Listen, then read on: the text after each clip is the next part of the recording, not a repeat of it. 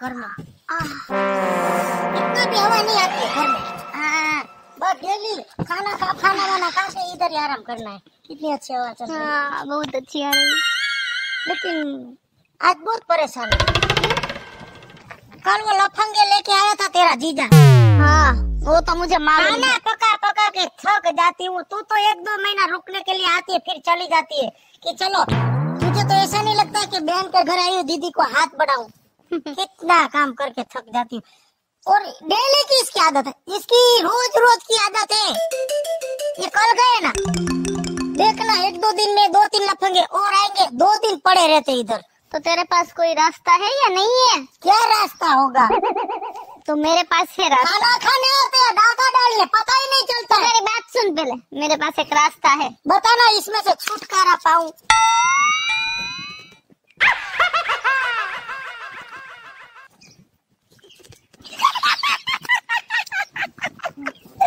अच्छा है ना बहुत अच्छा रास्ता निकाला।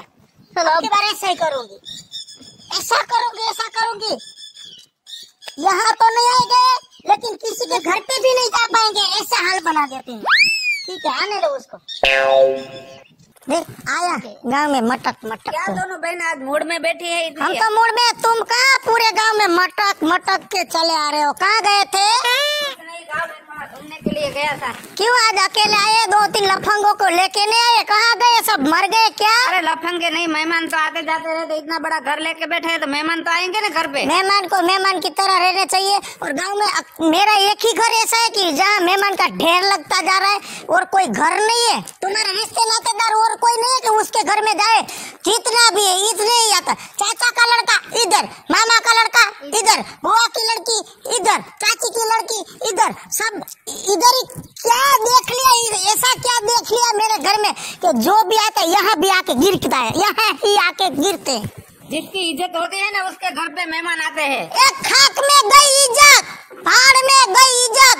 इज़्ज़त इज़्ज़त इज़्ज़त करते रहते हो। मेरे शरीर के अंदर खून का एक बूंद भी नहीं बचा है। मेहमान के साथ में ऐसा सुलूक मत करना। काम कर कर के थक गई हूँ। खाना पकाऊं कितना खाना पकाऊं? समझाओ इसको कुछ समझाओ। आपको ही तेरी समझना बड़ी चाहिए। बहन है तेरी आपको ही समझना चाहिए जीजा जी आप सबको लेके जाना जितनी अकल है इतनी थोड़ी भी नहीं इसमें। पर मेरी बात सुन आप सबको तो लेके सब शादी की उससे पहले सोचना चाहिए था इसमें अकल है या नहीं अकल तो तुम में नहीं है। तब ऐसा इतना नहीं बोलती थी तू अब बोलने लगी है। बोलूँगी ये कोई भैंस का तबेला नहीं जितना भी आता है यही चला आता है ये घर है। खाना तो खिलाना पड़ेगा मेहमान आएगा उसको। मेरा बस चले तो सालों को जहर खिला दूँ लेकिन नहीं कर सकती ऐसा। कैसी बीबी मिली है? अब अब अब अब है ना बड़बड़ाओ मत। मेरे सामने मेरे मुँह पे बड़बड़ाओ मत। फ़ोन की घंटी बज रही टीनिन टीनिन कब से हो रहा है? उठाओ फ़ोन। आँखें तो किराए पे दे दी कान भी किराए पे दे दिया क्या? रुक बात करने दे फ़ोन में। हेलो राजू भाई। हाँ हाँ बोलो हिरन भाई। अरे यार कहाँ पर हो? अभी घर पे आया हूँ। अच्छा ऐसे है हाँ? हाँ हम लोग भी आ रहे हैं। आओ आओ आओ घर पे आओ घर पे ही है। है? हाँ हम से कैसी है। हाँ सब अच्छे है तेरी भाभी भी इधर ही आ जाओ आ जाओ। ठीक है आ रहे हैं। हाँ हाँ ठीक है। राजू भाई? आइए आइए। नमस्ते नमस्ते।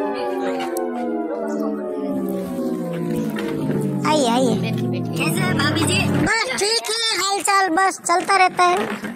बहुत गर्मी पड़ रही है तो आँगन में बैठे। नहीं बहुत मज़ा आता है आँगन में बैठने का। वो तो पता है। बहुत बढ़िया है। पानी पानी पिलाऊं? और सुनाओ राजू भाई। और सही है ये खेती बाड़ी का काम चल रहा है। नहीं अभी तो थोड़ा म- गर्मी का सीज़न है तो हाँ तो ये काम तो करना पड़ेगा ना खेती का यार। काम तो करते हैं ना सुबह ग्यारह बजे उठ के खेत में जाते ढाई बजे आ जाते। अच्छा? बहुत काम करते हैं। अकेले अकेला तो कभी कभी औरतों को भी लाया करो। हम औरतों औरतों को भी जान पहचान बढ़े ना। आप बहुत दुबले पतले होते जा रहे हैं। कुछ खाना वाना खाया कीजिए और ये मोटा होता जा रहा है। हाँ वो भी बीवी खिलाती नहीं है सही ढंग से। और सुनाइए। और बढ़िया है ये मेरी साली आई है अभी वेकेशन में। अच्छा ऐसा नमस्ते। ठीक है? और क्या हाल चाल है राजू भाई? एकदम से नो टेंशन अच्छी ज़िंदगी जीने का इस बार बाहर जाने का प्लान था कहीं घूमने ये ले जाए तो तो सोचा दीदी को बुला लूँ और बोले कि छुट्टियाँ है दो तीन महीना छुट्टियाँ है तो आ जा। कितना मोटा होगा कितना मोटा होगा। इनके लिए तो गए थे। हाँ वही तो कल बात तो कल पता चली हम कल वही बात कर रहे थे। इसकी भी दूसरी तीसरी बार मई क्या चली गई? चौथी बार चली गई। चौथी बार चली गई। क्या हुआ? फिर? झगड़ा हो गया। हिरन भाई एक बात बताओ बुरा मत मानो। कि जाने आने में जाने आने में ज़िंदगी यूँ ही निकल जाती है। हुँ? कुछ हासिल नहीं होता। तो जिस घर गृहस्थी में ज- जोरा जबरी ज़बरदस्ती रोज रोज की बहस होती है ना वो ज़िंदगी जीने में कुछ मज़ा नहीं है। मैं तो यही चाहती हूँ कि तुम अपने ठिकाने वो अपने ठिकाने। तलाक दे दो और तुम अपने लायक दूसरी औरत ढूंढ लो और वो भी बेचारी अपने लायक दूसरा लड़का ढूंढ ले अपने अपने ठिकाने पे आ जाओ तो मज़े पर क्या करेंगे? ये चौथी बार चली गई और अभी ले, लेने ले जाने का है। हाँ। इसकी सास है ना वो इसकी सास है ना वो मेरी सर की मौसी है। ऐसा नहीं चलेगा वो बीबी तो उसको रखना ही पड़ेगा। हाँ तुम्हारी मौसी हो तो ऐसा ही होगा ना। वो भी इसकी सास और तुम्हारी मौसी उसमें कुछ पर भाभी जी एक बात मैं आपको बोलूँ कि अभी रोटी पकाने के लिए घर में कोई नहीं है तो क्या करेंगे? हाँ तो थोड़ा कम खाएगा ना तो पेट है ना उसका खरबूजे की तरह बाहर निकल गया है थोड़ा कम हो जाएगा। अकेला था गए अकेला। अकेले में मज़ा है फंस गया हूँ। कोई ऐसी बातें मत बना और कुछ चाय पानी का इंतज़ाम कर। मेहमान घर पे आए हैं। चाय पानी की बात मत करो अभी खाने का समय है। अभी खाना पका देती हूँ। तो तो बढ़िया है। पर भाभी जी जाने का है घर पे। हिरन भाई! खाना खा के ही जाना पड़ेगा। आप तो नहीं हमारे घर पे है ना? डेली कोई ना कोई मेहमान होते ही और डेली खाना खाने के बिना कोई जाता ही नहीं है खाना खा के ही जाते और आपको भी खाना खा के ही जाना पड़ेगा। प्यारे है तो खाना खा के ठीक है भाभी जी। खातेदारी तो मेहमान की खातेदारी तो करनी पड़ती है ना? चलो करते हैं मेहमान की खातेदारी। सुनते हो जी राजू? इधर आओ ना। क्या है? इधर आओ। सुनिए इधर आइए। क्या है? धीरे बोलिए ना मेहमान के सामने सुना होगी क्या? हाँ बोल नहीं। आप दूध लेके आइए मैं चावल उबाल के रखती हूँ फिर खीर बना देती हूँ और पूरिया बनाए या रोटी बनाए पूरी बनाना पड़ेगा ना? ठीक है पूरिया बनाती हूँ रोटी बने सब्ज़ी कौन सी बनाऊ?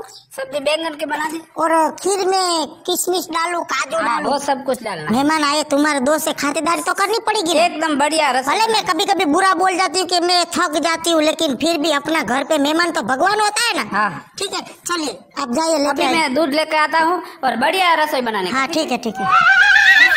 अरे भाभी जी क्या हुआ अरे यहाँ पे आइए भाभी जी पूछिए मत भाई तो भाभी जी यहाँ पे खुल के बताइए क्या हुआ क्या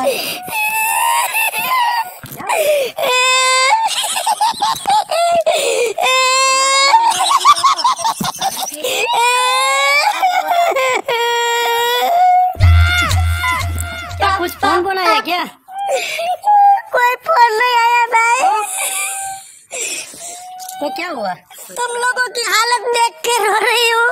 क्यों? क्यों? हमारी हालत क्या हुआ? अभी जो होने वाली है ना वो सोच के मेरा तो दिल बैठा जा रहा है। पर अभी क्या होने वाला है? पूछिए मत। क्यों? पूछेंगे नहीं तो हमें क्या कैसे पता चलेगा? उसमें ऐसा है? हम शहर में गए थे ना हाँ। तो हम घूमने गए थे। फिर थक गए ना तो बड़ी सी बिल्डिंग के नीचे हम खड़े थे। हाँ हाँ। और उतने में मालूम है ना तीन चार साल पहले भूकंप आया था। हाँ हाँ मालूम है ना वो भूकंप आया ना तो ऐसे बिल्डिंग खड़बड़ा गया। ऊपर से इतना बड़ा ईट गिरा आपके भैया के सर पे। वहाँ पे? हाँ। अच्छा। और ये उसको यहाँ पे लगी ना ईट तो दिमाग की नस खिसक गई। फिर उसको दिमाग के अंदर ऐसा दौरा पड़ जाता है दिमाग के अंदर नस खिसक जाती है। जब भी मेहमान आते हैं ना खिलाते पिलाते खातिरदारी करते फिर खाना बना खा के मेहमान बैठते ना तब ये ना ये जो कुहाड़ा पड़ा है ना ये पीछे पड़ा वो। वो कुहाड़ा पड़ा है ना फिर मेहमान के पीछे कुहाड़ा लोग के दौड़ते हैं कुहाड़ा लेके। फिर सुनिए ना सुनिए ना फिर इतना मारते हड्डी पसली तोड़ देते हैं और मोटी मोटी नोट लेते हैं झूठ नहीं बोल रहे हो। सरकारी अस्पताल में जाके आप देखिए हमारे गाँव में जो सरकारी अस्पताल है ना उसमें ज़्यादा से ज़्यादा मरीज़ तो तुम्हारे भाई ने भेजे हुए ये सोच के मैं रो रही हूँ। भाई तो भाभी हम रुकने वाले नहीं हैं हम नहीं आप रुकिए आप रुकिए। मैं बीच में आ जाऊँगी। मैं बीच में आ जाऊँगी। आपको ज़्यादा नहीं मारने दूँगी। थोड़ा सा ही मारेंगे। रुकिए भाई रुकिए रुकिए नहीं खा सकते देखिए भाभी जी हम लोग जा रहे हैं हमें खाना नहीं खाने का है। रुकिए रुकिए रुकिए रुकिए रुकिए रुकिए रुकिए। मज़ा आ गई मज़ा आ गई। गए साले अब यहाँ तो नहीं किसी के घर पे मेहमान बन के जाने लायक रहेंगे नहीं। पूरे जितने साल जिएँगे किसी के घर पे जाएँगे नहीं और हम दे दोनों आराम से बैठेंगे। अब सुन राजू को ऐसा ना लगना चाहिए कि हमने भेज दिया। वो पॉइंट मेरे पास है देख अब ड्रामा करती हूँ। तुझे तो मालूम है ना बचपन से ही मैं ड्रामेबाज हूँ। स्कूल में जब भी भी कोई ड्रामा करना था सबसे बड़ा ड्रामा किसका होता था? वीजुड़ी का। मैं कौन? वीजुड़ी। कहाँ गए मेहमान सब? चले गए। क्यों? क्या क्यों? बहुत रुकने की कोशिश की कि रुक जाओ। नहीं माने। क्यों? ऐसा क्या हुआ तो नहीं माने? क्या? अरे मेहमान को ना मेहमान की तरह रहना चाहिए। किसके घर में जाते और क्या चीज़ मांगनी चाहिए और क्या नहीं मांगनी चाहिए और मेहमान को अक्कल होनी चाहिए। ऐसे कैसे तुम्हारे दोस्त है कि जो नहीं मांगने की चीज़ थी वो मेरे से मांगी उसने?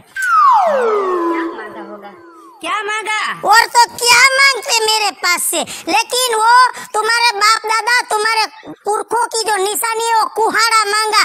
कुहाड़ा मांगा? वो कुहाड़ा में तुम्हारे बाप दादा ने लकड़ी फाड़ फाड़ के जीवन पूरा निकाल दिया। वो कुहाड़ा मांगा। तुम आपको पूछे बिना आपके बाप दादा आपकी पुरखों की निशानी में कैसे दे देती? अरे यार मेहमान से ज़्यादा कुआड़ा नहीं है। कुआड़ा तो दे देना चाहिए। मेहमान ज़्यादा ही है कुआड़ा ज़्यादा। दे दिया होता तुम्हें आपको ऐसा लगता कि मेरे बाप दादा की निशानी और आपके दादा को तो कुहाड़े से कितना प्यार था। जितना आपकी माँ से प्यार आपकी दादी से प्यार नहीं था ना उतना तो कुहाड़े से प्यार करते थे। वो कैसे दे दू? तेरा तो दिमाग फिर गया है मेहमान से ज़्यादा कुआड़ा नहीं मैं अभी तो